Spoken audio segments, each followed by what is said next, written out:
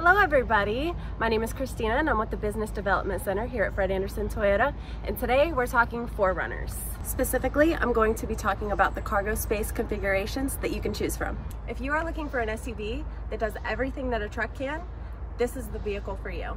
It is tough, it's mean, it's rugged, you could take it off-road, on-road, behind hidden trails, through the mountains, through the snow, anywhere.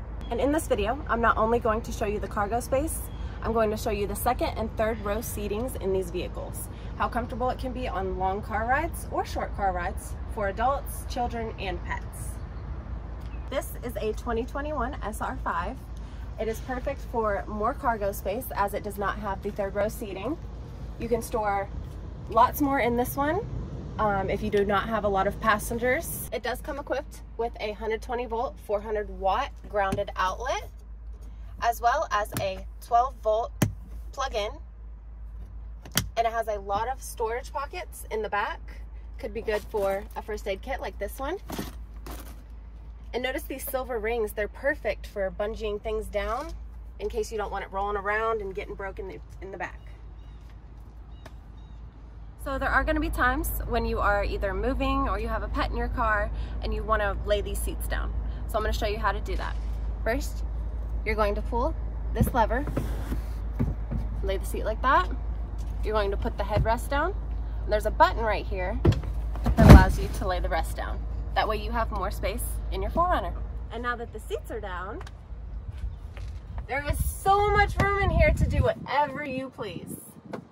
As you can see, it's not completely flat right here. There is a little bump, but it is still flat enough to where your dog can sit back here or if you're moving, you can fit boxes back here, or if you're traveling, luggage will fit perfectly. There is a lot of headspace room. I am 5'7", and as you can see, I have plenty of room. Now, I know I am 5 foot 7, but I am wearing heels today.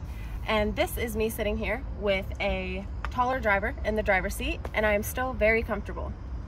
Here in the middle seat, there is a little hump and it is still very comfortable. Imagine that there are more passengers in this vehicle than just me. I could see a lot of different scenarios back here. You can fit three adults comfortably, certainly can fit three children comfortably back here, as well as maybe your pet and two adults, or you could fit three car seats easily in the back seat, or two booster seats and one car seat, or two car seats and one adult in the middle. And I'm very curious to know where you are all watching from. So if you could let us know down in the comments where you're watching from, that would be wonderful. I would love to know. Now that is our first configuration. What do you guys think about this Barcelona red color? the next vehicle we're gonna show you is a 2021 TRD Off-Road Premium with a sliding rear cargo deck. The sliding rear cargo deck has many different uses. And I thought to myself, what would I use it on? Well, you can actually pull this out and use it to sit on while you're at one of your kids' sporting events. You can use it while you're tailgating if you need a place to sit or eat. And I can actually see a blender being plugged in right here. Jimmy Buffett concert, anyone? You wanna know what is so impressive? This can hold up to 440 pounds. That's like two of me, or me and another person, or me, another person, and my pet. The seats do fold down the same way. You just pull this little lever, pop the headrest down, and push this button, fold the seat down. But what is different about this one is the back is completely flat. There is no bump in the back. The sliding rear deck does take up a little bit of space, but from the back to the front, it is completely flat. And this is a 2021 limited nightshade. And what do you think about these glossy black accents?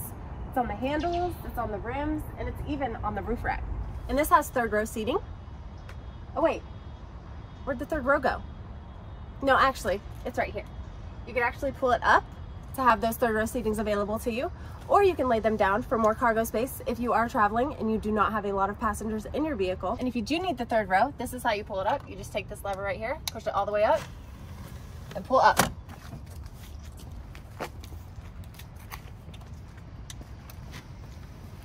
Just like that. The back seats of this one folds down a little differently. All you're gonna do is you're just gonna pull this lever right here, and it's gonna slide down just like that.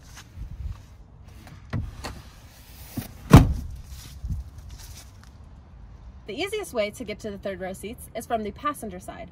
It has a carpool lever, which allows you to easily get back just by doing that. In the third row, as you can see, there are no seat bottoms out right now, but it is very easy to pull those seat bottoms out if you're having people in the back or whatever the case may be. But when the seats are laid down, you actually do not need those seat bottoms out. How you're gonna pull out these seat bottoms is you're just going to pull on it, release it just like that. And if you wanna put them back, there's a little lever down here.